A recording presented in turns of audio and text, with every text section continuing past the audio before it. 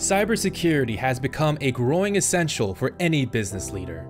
With recent studies, more and more companies are increasing their demand in equipping their businesses with the skills to respond to the fast growing risk of cyber attacks.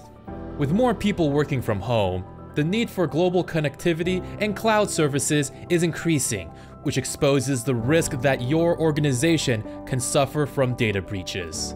Relying on quick cybersecurity solutions, like an antivirus software or firewall, no longer works in this day and age, and the need to protect confidential information is a pressing concern at the highest levels of any business, big or small.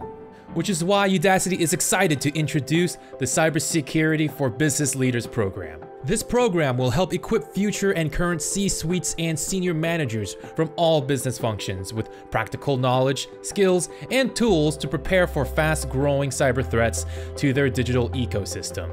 Leaders will understand the role of cybersecurity in their business and set the stage for their organization's specific response plans. This program will enable board members who need to make high ROI investments on building systemic approaches to mitigate the cybersecurity risks. Implement the skills you need to be cyber secure and keep malicious actors from exploiting your system. Start today by ensuring your data stays protected by enrolling in Udacity's Cybersecurity for Business Leaders program.